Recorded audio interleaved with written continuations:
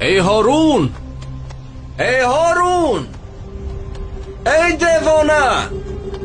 کای عقلی تو می دراید من دیوانم یا تو؟ البته که تو دیوانه ای.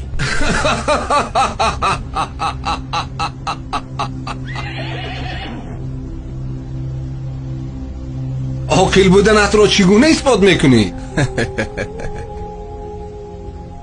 من می‌دونم که قصرهای با حشمت تو ابدی نیست. اما حیات آخرت ابدی است. من برای آخرت آمادگی می‌بینم. تو باشه برای دنیا. قصرها بنیاد داری و دنیای خود را آباد می‌سازی و آخرتت را خراب. با این خاطر میترسی که این آبادی را گذاشته به آن ویران نروی. در حالی که تو انیق میدانی خانه آخرتت آنجاست. هارون اکنون با من گوی کی دیوانه است. به خدا قسم که راست می‌گویی. باز یگان نصیحتم کن. کتاب خدا برای تو بسنده است. به آن چنگ زن و رستگار شو. یگان احتیاج داری که آن را برآورده کنم؟ بله سه خواهش دارم.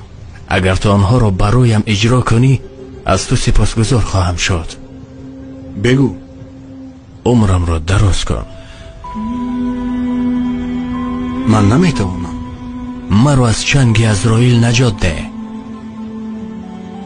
این از دستی من نمی آید پس مرا وارد بهشت ساز و از دوزخ نجاتم ده من قدرت این را ندارم این طف که باشد تو غلام هستی نه شاه و من از غلامان حاجت نمیپرسم